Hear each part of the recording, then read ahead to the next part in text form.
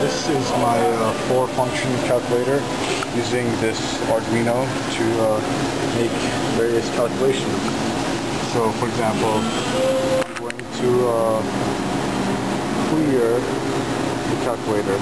And basically what I have over here is a uh, 4x4 matrix keypad which I've made myself. You can see all our soldering and whatnot uh, connected to the Arduino.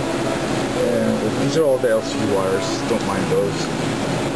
So under each button over here I have a push button switch and basically that allows me to uh, see what buttons I'm pressing. So let's say we want to do a simple calculation like 1 plus 1. So if we do 1 plus 1 and if I press this you can see over here on the screen it says 1 plus 1 equals 2 and I can of course clear that and we can do uh, more complicated things, like for example, 55, so 55 times 75. Get the answer over there.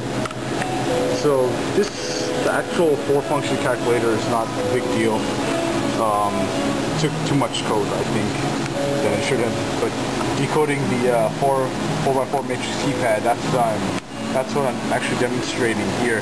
What this does is it sends a positive voltage on each of these four rows and it detects, waits to detect a positive voltage back on any of the four columns. And then going which row it's applying the voltage on and which column it's receiving the voltage on, it knows which key is being pressed. Now, the only way to get a receive a voltage is to push a switch, which uh, shorts it just short um, two wires together. Like for example, if I push five, these two wires are shorted together and then divided by uh, say six.